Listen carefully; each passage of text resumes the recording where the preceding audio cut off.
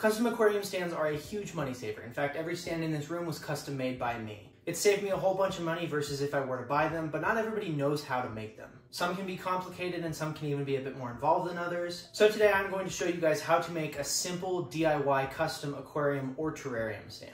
Now, I'm going to be using this stand for my mantis enclosures as I have quite a bit of them and I need somewhere to put them. But this exact same technique can be applied for aquariums, terrariums, and really anything you need. So with all of that said, the first thing we need to do is go to the garage and take a look at the materials that you'll need. Okay, so we're now here in the garage. The first thing I want to go over is the materials that you'll actually need to make this thing. Starting off with six of these eighth inch thick plywood pieces, followed by eight 2x4s that are 8 feet long. You also need a couple other things such as a paintbrush, drill and screws, and a nail gun or a staple gun with brad nails, and then either stain or paint, whatever you prefer. All this stuff you can find at most home improvement stores, but I get mine at Home Depot. And then again, if you don't have something like a nail gun or even a staple gun with the brad nails, you could just use nails and a hammer. That's pretty much all you're gonna need for this. So with that out of the way, let's get to the project. So the first thing that you're gonna wanna do, first of all, is actually take the measurements of what you want. Now the dimensions of the stand that I'm making is going to be 48 inches tall, 40 inches wide, and 14 inches deep. But again, you can adjust those measurements however you want to get the stand that you need for your project. The first thing we're to do is take one of our 2x4s and use a tape measure to measure to length. In my case, this is 48 inches.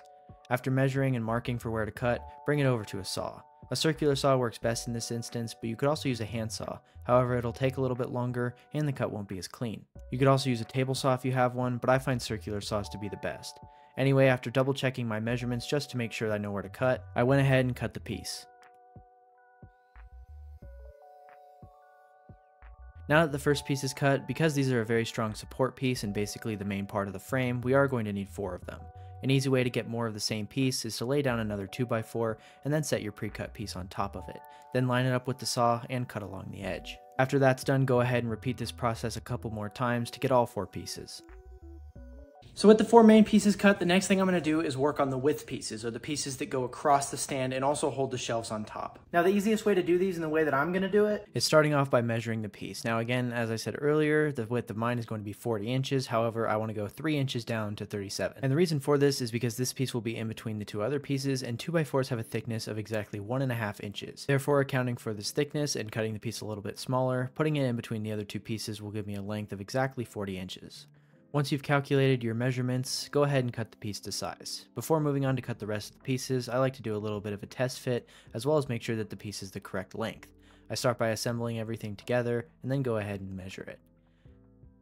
As you can see here, a perfect 40 inches. The next thing to do is account for how many shelves you want. The first thing you need to do is take the full measurement of the stand. Then we need to account for the thickness of the 2x4s. In this case, I'm going to have 4 of them, so I need to subtract a total of 6 inches. Then go ahead and divide that number by 3, and that'll give you the total length between each shelf. However, because I left a little area at the bottom for an extra 2x4, I need to subtract a total of 1.5 inches from everything, giving me a measurement of 17.5. It's a little bit of a complicated process with a lot of math involved, but it's necessary to ensure that we get the correct length between each shelf. With that out of the way, we can go ahead and continue to cut the shelves. Since we're going to be having two frames, however many shelves you'll have, you'll want to cut double the pieces. In my case, I ended up having four shelves, so I cut eight pieces total. Following the same process as I did before where I just overlap the pieces, line them up with the saw, and make the cut. Once all 8 pieces are cut, we need to start assembling everything together. Start by laying down the side piece, followed by the top piece. Then for the bottom piece, account for the thickness of that 2x4 that we measured for earlier. Now we need to attach everything together using a drill and some screws. The screws I'm using are some 2-inch multi-purpose construction screws, but any wood screw will work. I recommend pre-drilling the holes, so find a drill bit that's slightly smaller than the thickness of the screw. Then go ahead and line up the top piece with the side piece in the corner. It's important to do this on a flat surface to ensure everything is level. Once you have everything pressed firmly together, go ahead and start pre-drilling the holes. When drilling, it's important to make sure that you go all the way through the first piece and into the second piece. This will help to make sure that the wood doesn't split when we attach the screws. Once the holes are drilled, go ahead and add the screws. This will secure everything together and make sure that it's attached firmly. Then you'll want to repeat this step for the bottom piece. Like I said earlier, we need to account for the thickness of the 2x4, so use another 2x4 to space that before you drill the holes.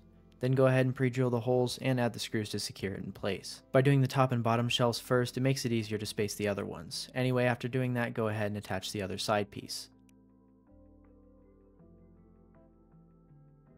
Once the main frame pieces are all attached, go ahead and take that number that we calculated earlier, which in my case is 17 and a half, and use that to space each shelf. Then, like earlier, go ahead and pre-drill your holes and secure everything with screws. Repeat this process for each shelf, as well as repeat the entire process one more time to get two identical frame pieces. It takes a little bit of time, but it's necessary. So with both the front and the back frame complete, the next thing we need to do is the side pieces. Now, unlike the width pieces that are going across, these pieces are going to go from front to back, and these can be whatever length you need them to be. So like I said at the beginning, the dimensions for mine, the depth is going to be 14 inches, so I'm gonna cut these pieces 14 inches. Now, depending on how many shelves you have, you're gonna need one for each shelf. I have four shelves, but I'm only gonna make three because the bottom shelf really doesn't need any. That's the reason I left that small gap at the bottom is just in case you wanna add another support down there, you can totally do that. However, my shelf is not gonna be supporting a whole bunch of weight and probably won't need that, so I'm just gonna forego that. But if you have heavier things on that, you definitely wanna add that piece for a little more support. Unlike the other pieces, this is going to be going front to back with no obstructions, so we don't have to account for anything. Measure out your length, and then cut it to size. It never hurts to double check your measurements before making the second cut, so that's exactly what I did. Once I confirmed that, I went ahead and cut the other pieces. Again, following the technique of layering the boards, pushing it flat up against the blade, and making the cut. As for how many you'll need, it'll depend on how many shelves you'll have. In my case, I have 4 shelves, so I'll need 8 of these total. Once you have all the pieces cut, lay down one side of the frame and put the 2x4 in place. Again, it's important to do this on a flat surface to ensure everything is level. Then go ahead and pre-drill the holes and secure it with screws. Repeat this process for each piece underneath each shelf. A little bit of a tip to ensure that everything is level is while you're drilling, make sure to push down on the frame itself. This will make sure that everything is level and that we have no inconsistencies later. Once all the pieces are attached, go ahead and set that piece aside and then get the other frame and lay it down. Then grab the other piece, flip it over, and lay it down on the stand, making sure that the 2x4s are under each shelf. Then go back and pre-drill every hole and secure it with screws.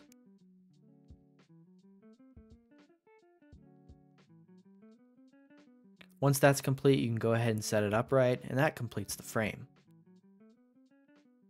So our frame is now complete. And as you'll notice right now, it might be a bit wobbly, a bit unstable even. And that's completely fine. You can put a few extra 2x4s in there just to stabilize it or put a few more screws in. But once we add the paneling, that should stabilize everything. Which is the next thing we need to do. Now what I use for paneling is I use some eighth inch thick like plywood type stuff. Again, you can find this at pretty much any home improvement store, but I get mine at Home Depot. And the process for adding it is honestly pretty simple. I usually start with the sides, so I'll take my measurements. In this case, I'm not going all the way back, just covering the width of the 2x4, so I'll take the measurement for that, then take it out to a table saw. Alternatively, you could use something like a jigsaw or even a handsaw, but again, this is going to take a lot more time and the cuts won't be as clean. Using some of that paneling that I showed earlier, I measure and mark for where to cut, and then go ahead and run it through the saw. This can be a bit of a dangerous process as this is obviously a very dangerous tool, so be sure to keep your hands away from the saw blade. Anyway, continue running the piece through the saw blade smoothly and evenly to make sure that you get a nice strip. Then go ahead and run it through as many times as you need. In my case I need 4, but these won't quite reach the bottom, so I'm going to cut a couple extra just to be sure. Once the piece starts getting super thin, a little tip is you can use another piece of wood such as a 2x4 to help push the piece against the back. This way your fingers won't get too close to the blade. Additionally, instead of pushing through, you can start pulling through, which again will keep your fingers away from the blade. Once all the strips are cut, go ahead and align them with the stand. I'm going to be overlapping a piece on the front, so I'll account for that before securing it in place with some brad nails. Cutting the other pieces follows basically the same process, except this time you want to account for a little bit of overlapping. What I mean by that is instead of just taking the measurements of the 2x4s and transferring that onto the paneling, you want to account for the paneling that's on the side of the stand. All you have to do is put that on and then take the measurement again, cut the piece, and you should be good to go. As I mentioned earlier, some of the strips aren't quite long enough to reach the bottom. To fix this, I cut a few extra strips, set them along the bottom, then marked for where to cut.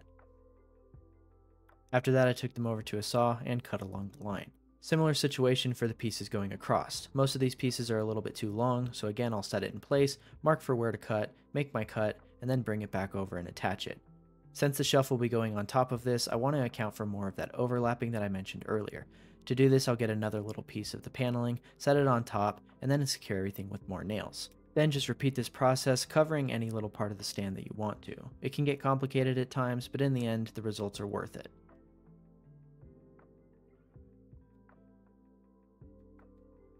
At this point, you may start to notice that there are a few little pieces that kind of stick out, as well as a few pieces where there may be gaps. All of this is not important right now, and we'll fix it up later. Then for the actual shelves, it follows basically the same process as the rest of the paneling. Take your measurements, then take it to a table saw, run it through, then bring it back, lay it in place, and secure it with some nails. Go ahead and repeat this process for each shelf. It should be pretty simple as you can just copy the measurements for each piece. At this point, the stand's starting to look pretty good. If you want to cover the 2x4s on the inside, you can. I'm going to because I feel like it looks better, but this is by no means necessary. If you're on a budget and just can't do it, or don't feel like it, there's no reason to do this.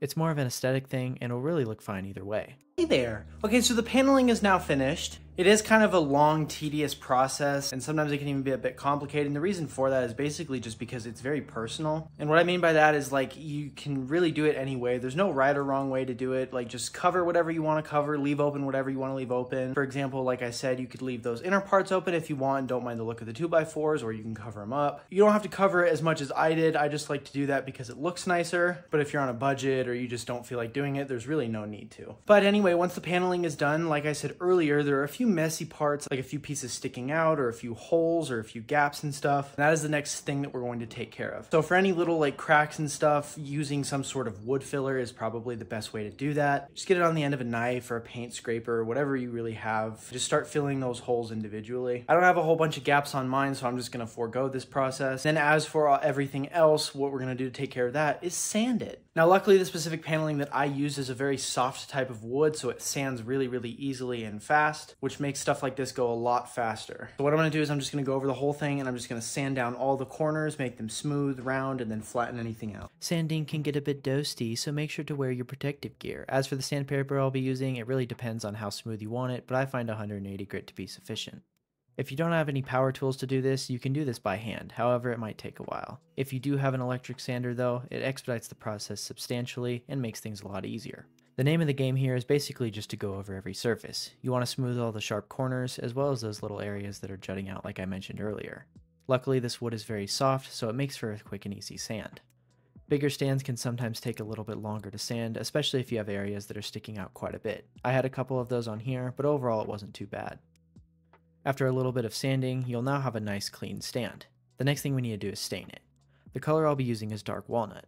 I recommend using water-based as opposed to oil-based. I was an idiot and accidentally bought oil-based, but I highly recommend using water-based. In order to apply the stain, you could use a paintbrush or a rag. A lot of people prefer to use rags, but I find paintbrushes to be sufficient. It's really up to personal preference and whatever you find easier. As an alternative to stain, you could also use paint, which will look just as good. I like to use stain though, just to get that natural wood texture. An important thing to note with stain is that a little bit goes a long way, so depending on how dark or light you want it will determine how many coats you'll need. I only wanted one coat, and I also tried to put it on as light as I could. I went over the entire stand making sure to cover everything. It's also important to wear a mask during this process, as well as doing it in a well ventilated area, as stains can get pretty smelly. That's one of the benefits of using paint, as well as being able to use something like a paint roller to make this process go faster. However, like I said earlier, I prefer the look of stains.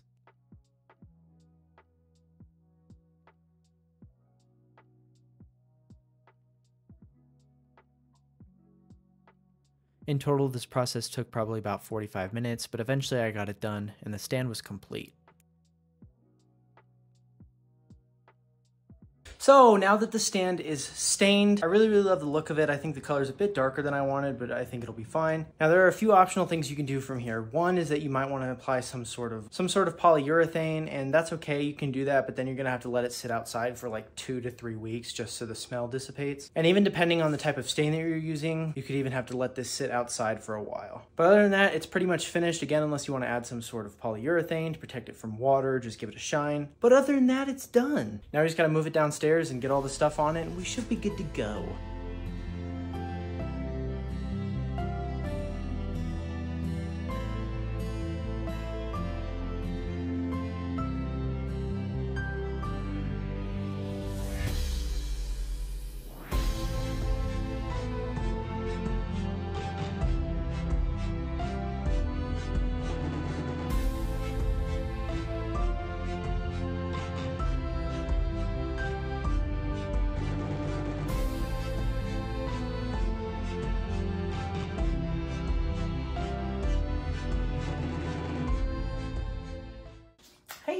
You guys for watching. I really, really hope you guys found this tutorial helpful. As of right now, I kind of just put a few things on this just to make it feel a little bit more full. And the lighting situation is just temporary. I do have some puck lights coming that I'm going to install in here, but unfortunately those didn't come in time. So I'll post a few pictures and maybe a short once I get this updated. Uh, now, as you can tell, this shelf is pretty empty for the most part. And the reason for that is because I wanted to give myself enough extra space because as of right now, I only have four Mantis enclosures actually built. I think I am going to keep the isopods on this setup just because I feel like it looks good, but I'm definitely planning on getting more Mantis species as well as I have a couple others that aren't quite big enough to go into an enclosure yet, but will be soon. But again, that is going to do it. If you guys have any questions about the build, make sure to leave those down in the comments. Don't forget to leave a like and make sure to hit that smash subscribe button. And I will see you guys next week.